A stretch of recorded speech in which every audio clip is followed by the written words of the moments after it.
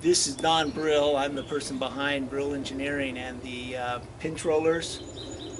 We've had uh, farmers contact us, and what they need is a unit that can do higher volume than the pinch rollers. So what we did was we purchased a two-person rice huller from India, and it cost about a thousand dollars plus another twelve to fifteen hundred dollars to get it shipped into the United States. And then we took that one and modified it with a motor, and it worked. But in the meantime, we've decided let's see what we can do if people wanted to build their own. So we've come up with this scheme, which is based off a research paper and uh, the huller we were purchased from India. So in this video, you'll see it hulling rice, millet, buckwheat with uh, how those results went. Right now, we just want to see, show you it in operation. We have an impeller here. Inside here is a ring a polyurethane that the rice will hit. This is a feed hopper that we've used in the past because you got to control your feed rate. We have a quarter horsepower motor running out uh, 1,725 RPM. The impeller down there runs at twice that, but uh, because of lossage, it's running at about 3,200 RPM. I've got a pulley here and a pulley here to do the feed. I have four pounds of rice. And what I want is this four pounds of rice to take one minute. That'll be 240 pounds an hour. So let me get it started. Pour the rice in.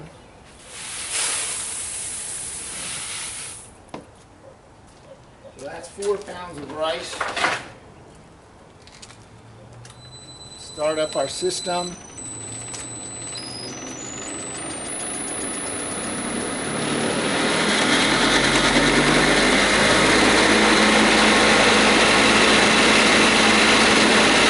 All right, I'm gonna start it running.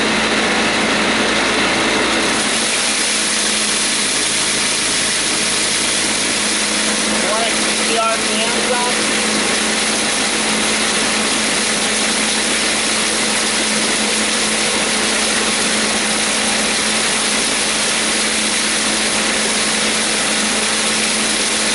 With my feed gauge, I go up and down on this to control my flow.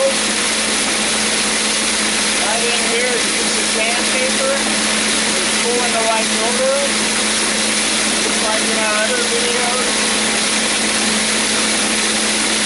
RPM and the motor is a quarter horsepower, so I don't, I'm not using a lot of electricity.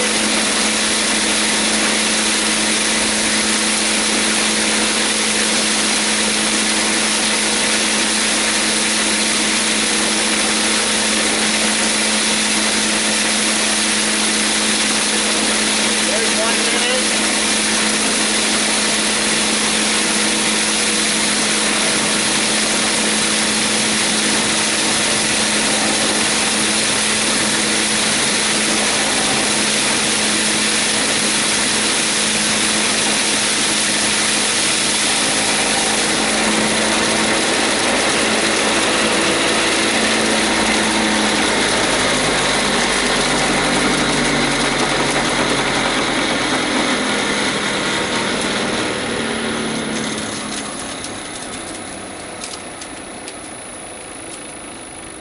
So we just did four pounds in one minute 22 seconds.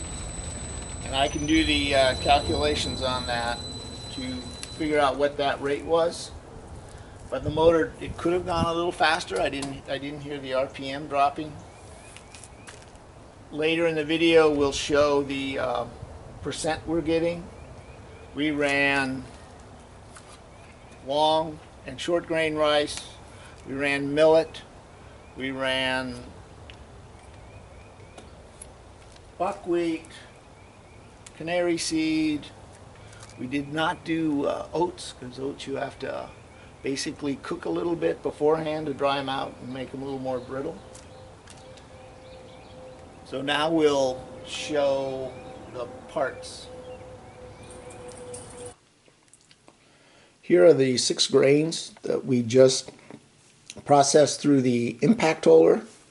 I poured them through uh, by hand, so we don't really know the rate. Here's the millet.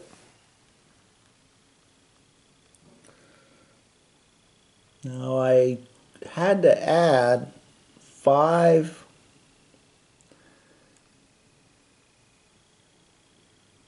grains of millet that did that did not go through the huller just so you can see the difference. Those right there are ones I added to the top of the pile. And as you can see, there might be one there. So we're at 99 plus percent for the millet. It processed the best. This is canary seed. The dark have lost their hulls. The light colored still have their hulls on them. Don't know what percent that is. Over 50 though. This is buckwheat. The dark brown still has the husks on it. The light tan is the whole grain with the husk removed and the white are the ones that have shattered. This is probably why you only see buckwheat meal. Next we have the yellow field peas. They're hard. The dark yellow is the peas that have been husked.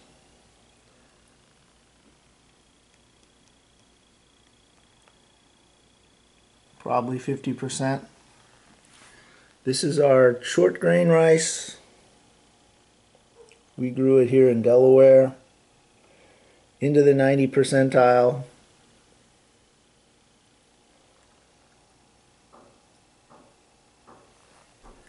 And then this is the long grain rice that we also grew here in Delaware.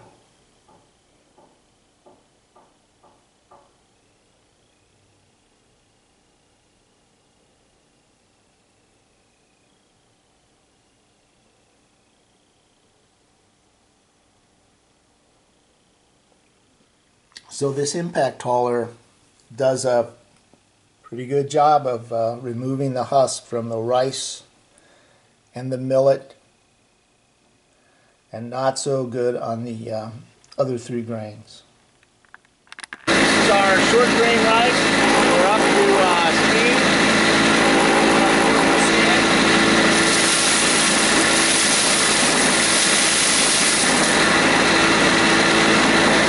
I'm gonna have uh, about a half a cup of uh, long grain rice that was donated.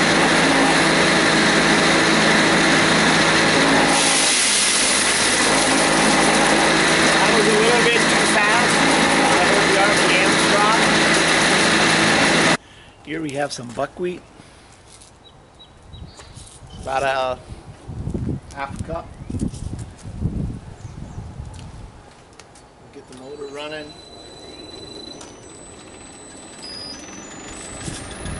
So again, this is buckwheat. I'll just pour this in.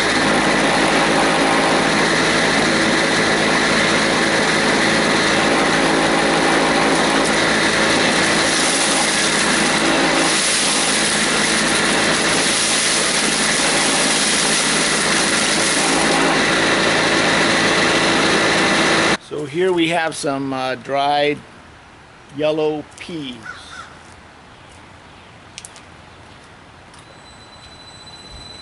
I'll just pour these in. I don't have many. It's just hitting our. Uh, here we have. Here we have dried yellow peas.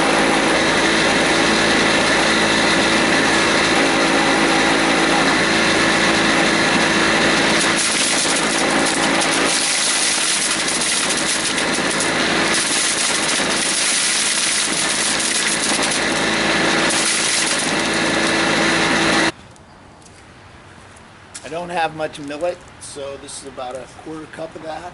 We're gonna run it through.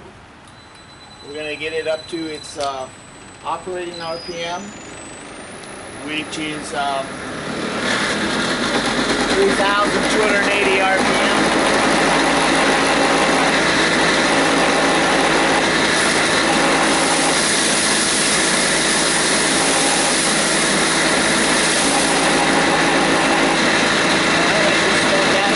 So now we're going to do uh, some canary seeds.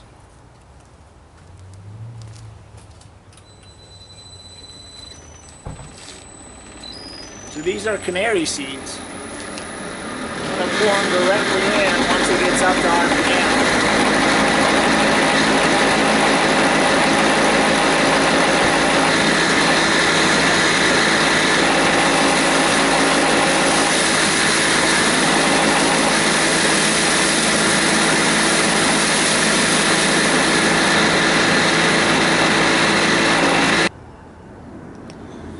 So we just ran four pounds of rice in this homemade impact huller.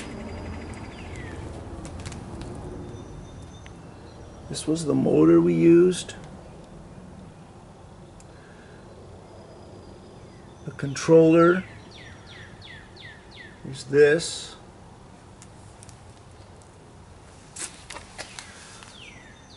This is showing the different pulleys we have. We have a 1700 RPM motor. So we're doubling that so we can try to get up to 3500. It did end up being uh, 3200. This is the feed hopper system. Our gate. We've used that in the past. Turns out we did not do four pounds per minute. We did 2.8, which was 175 pounds an hour. This is my uh, funnel system. Let me just rip off this cardboard. So what I did here is take a funnel, cut it, attached it down to here. We'll open up this in a minute. Down there is where my shaft goes. Here's the shaft here.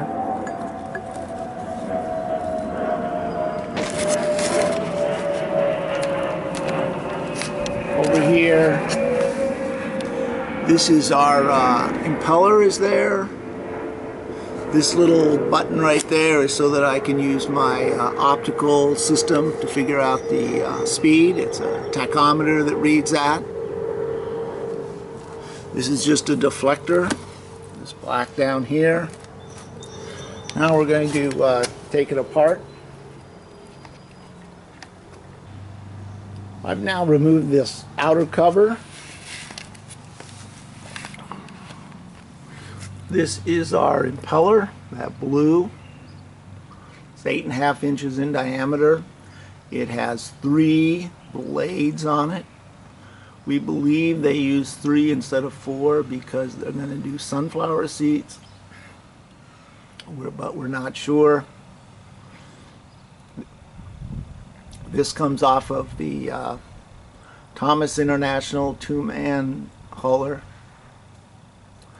the polyurethane, the 90 diameter hardness, is epoxied to the uh, 11 inch diameter hole that we cut out of plywood. So it's two pieces of three quarter inch plywood that have been screwed together.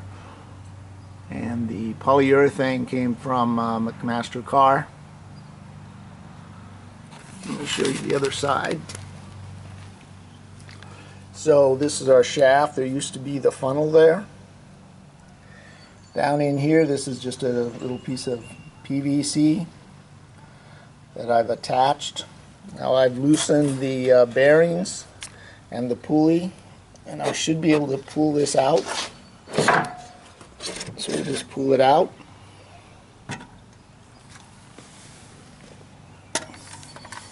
Sorry. So this was our PVC pipe. It's attached there, it sticks in a little bit. And then that part that sticks in feeds inside of here. So I don't know if you can see them. Now you can see those blades in there. They've cut grooves into it and then hardened it. We believe that separates out the um, rice and aligns it.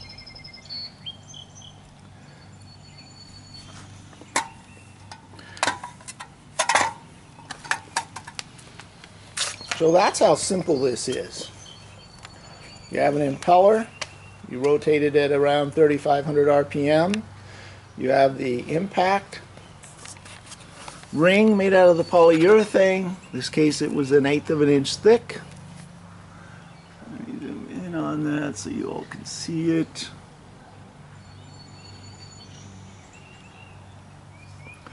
We don't know how long this will last, but the uh, one that Thomas International sells, it, it's, it appears it'll do thousands of pounds. So imagine you put this on, do this diameter, then if this wears, you epoxy on another layer here.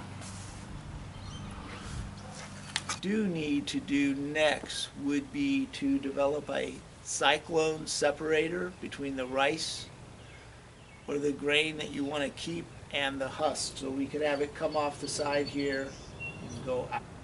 If you have questions or you would like to help on the project, go to uh, our webpage, brillengineering.com. Thank you.